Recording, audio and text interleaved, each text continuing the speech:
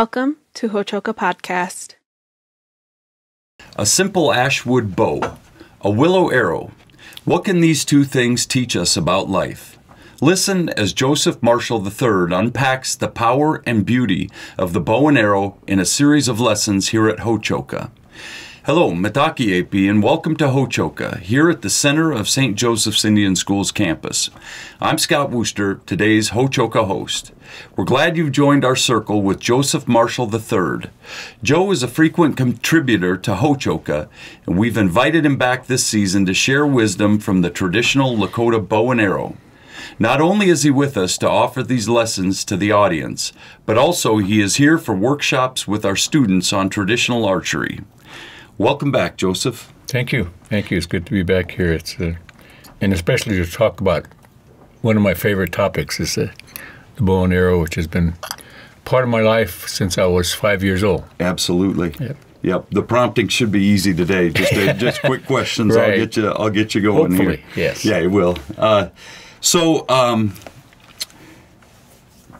this conversation's inspiration is the wisdom uh, of the bow and arrows, as you said, the Lakota bow and arrow, that uh, you imparted to our students in, in the last couple of days while you've been with them. Yes. And the wisdom from your book, which I think we have on the Yeah. on the table Yeah, here. right.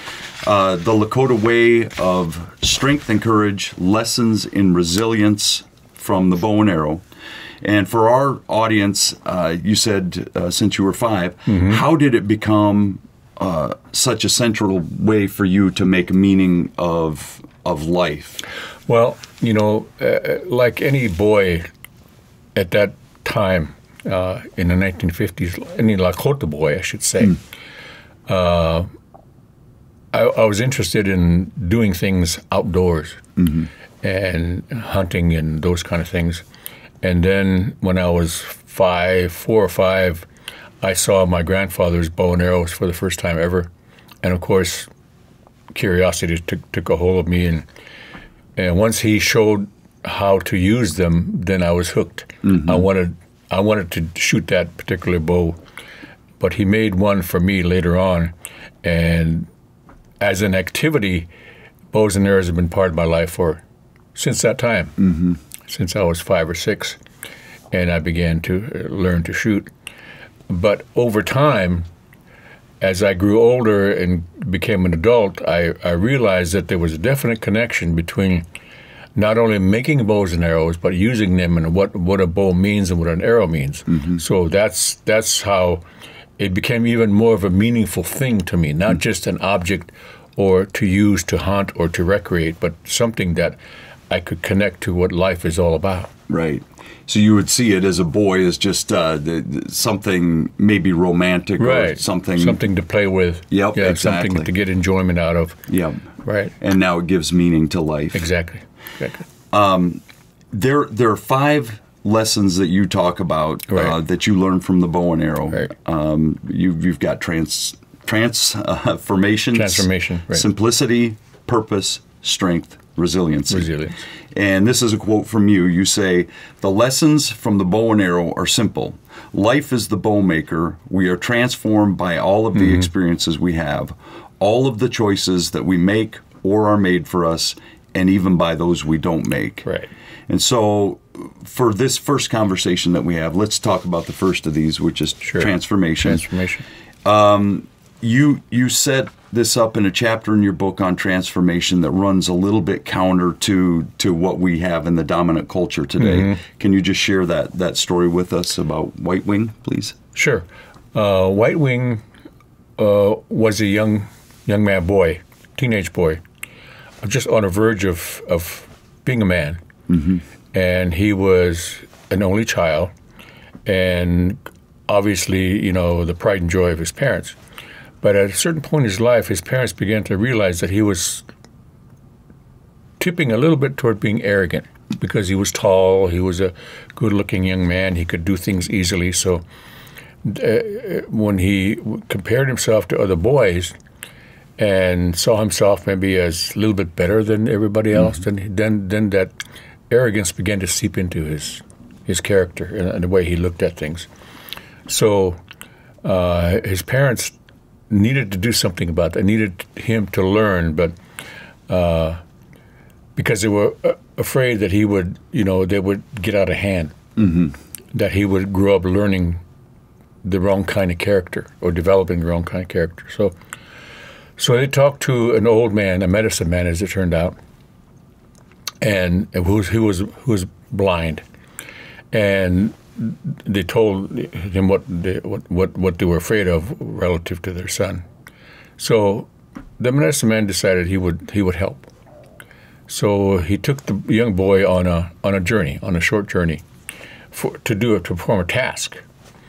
And of course, the young man did it because his parents asked him to do it, but he wondered what it was all about. He really wasn't enthusiastic about it, but he did it nonetheless. And so they took a long walk, essentially. And the old man said, This is what I want. I want you to help me find some stones. And so they walked and walked and walked and came to what is now the, the White River, we call it the White Earth River, mm. Makrizi and, and eventually found the stones. But they had to be certain particular stones. They had to be round, perfectly round, and in graduated sizes. Mm-hmm and he gave him a bag to put them in. So he went and found the stones, and hoping that that would be the the end of the task and he would go home. But then the medicine man wanted to do something else. He wanted to go look for sweetgrass. So they did that. And all the while, the boy is becoming impatient. He's thinking, "Well, this is this is not fun. This mm-hmm. is not this is not the thing I want to do." Uh, so when they finally did start home, he walked really fast and you know kind of really you know was really his impatience won out and he left the old man behind. And lo and behold he runs into a bear and the bear chases him up a tree slashes his leg and chases him up a tree and he's safe in a tree. And then he then he realizes well the old man is down there and the bear is still looking around and the old man is blind and can hardly see, and the bear is certainly going to tear up the old man. And lo and behold, the bear doesn't counter the old man, and the boy is watching, mm-hmm. and he's he's fearful of, what's going to happen. He knows that the bear is going to tear the old man right. to pieces, and but that doesn't happen. The bear doesn't counter the man. The old man pulls out a vial and waves it in front of the bear, and the bear sniffs and turns around and runs off. And the and the boys boys flabbergasted. How did that happen? You know, he's expecting the old man just to be shredded. Well, he gets down from the tree and and uh, goes to check on the old man and and and uh, you know he, he can't figure out what happened and said what what what did you do what how did you do that mm-hmm. and in the vial is skunk oil. And skunk oil is, as a lot of us know, is very, very pungent and it's very offensive. And and some of us have had the unpleasant encounter of being sprayed by a skunk, and we know what that's like. Mm-hmm. Well, bears are the same. Bears don't like skunks mm-hmm. because of their scent. So just to wave that scent in front of the bear's nose, which is very, very sensitive, by the way, did the trick. Yeah. So that's how the old man protected himself.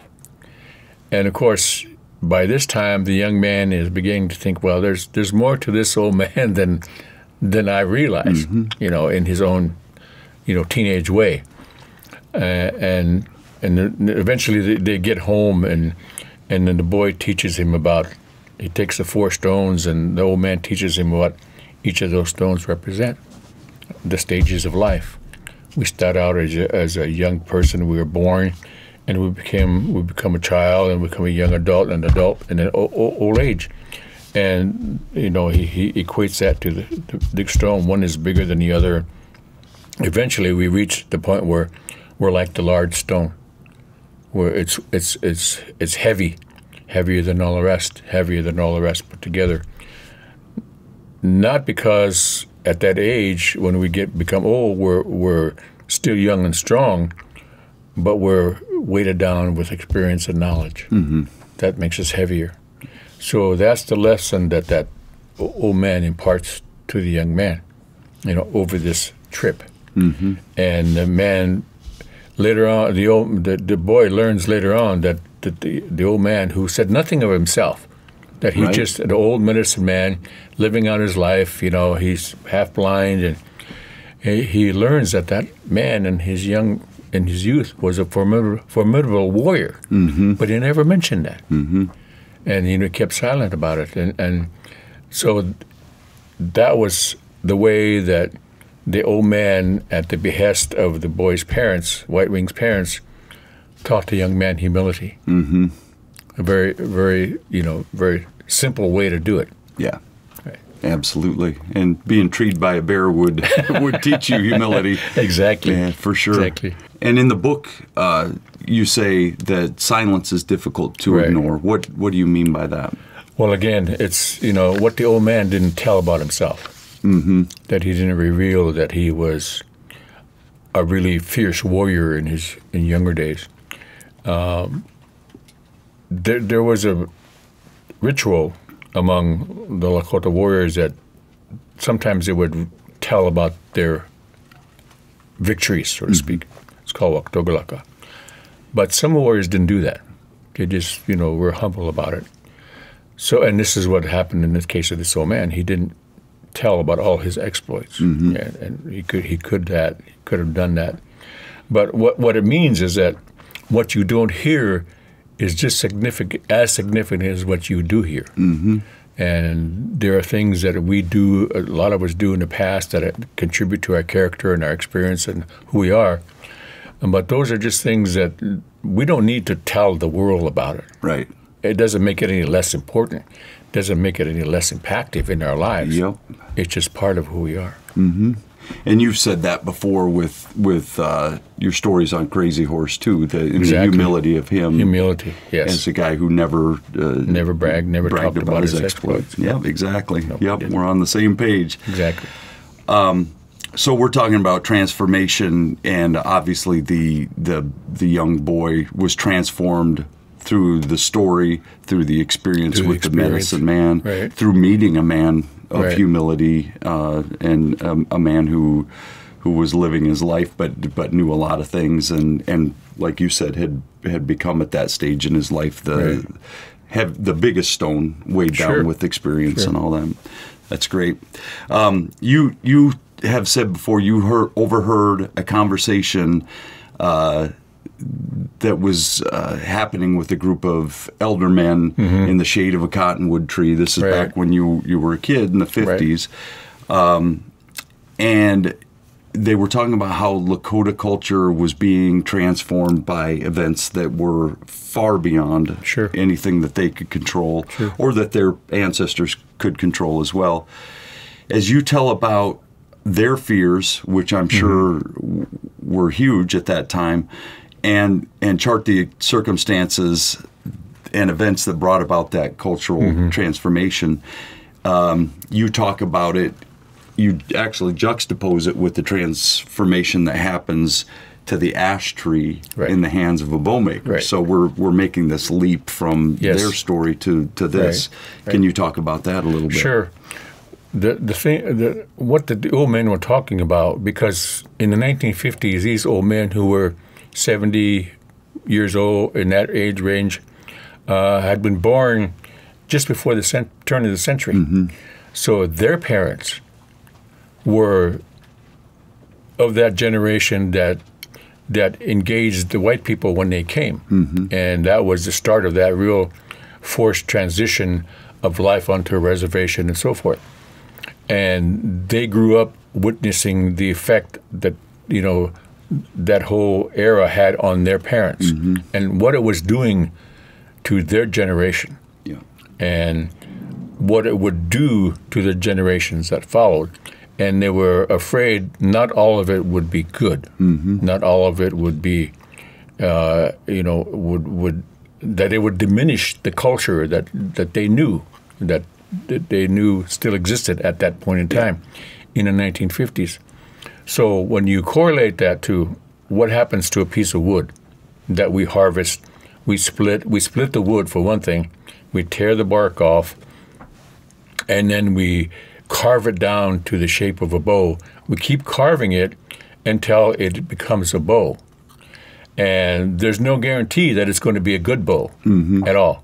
We, we we we use our skills to make it physically appear like a bow, but it all depends on how how skilled the bowmaker is.